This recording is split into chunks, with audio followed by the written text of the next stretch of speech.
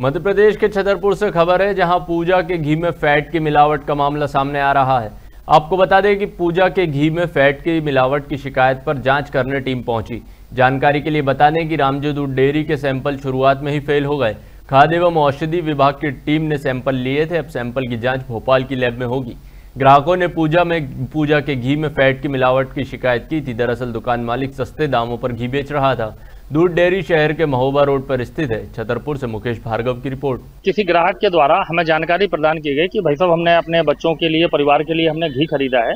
तो यहाँ पे दो प्रकार के घी मिल रहे थे। एक पूजा वाला घी और एक खाने वाला घी।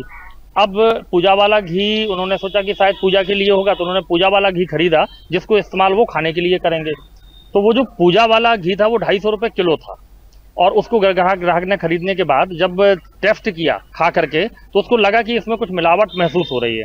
ग्राहक ने हमसे संपर्क किया। संपर्क करने के बाद ग्राहक पंचायत की टीम ने फ़ूड विभाग में संपर्क किया और वहाँ से हमें जानकारी प्राप्त हुई कि जो फ़ूड टेस्टिंग के लिए जो मोबाइल वैन आती है और वो मोबाइल वैन हमारे में इतफाक से उपलब्ध थी, उस वैन का प्रयोग करते हुए हमारे ग्राहक के द्वारा दस रुपए की रसीद कटा करके उसमें सैंपल की जाँच कराई गई और उस जाँच में ये सैंपल फेल पाया गया।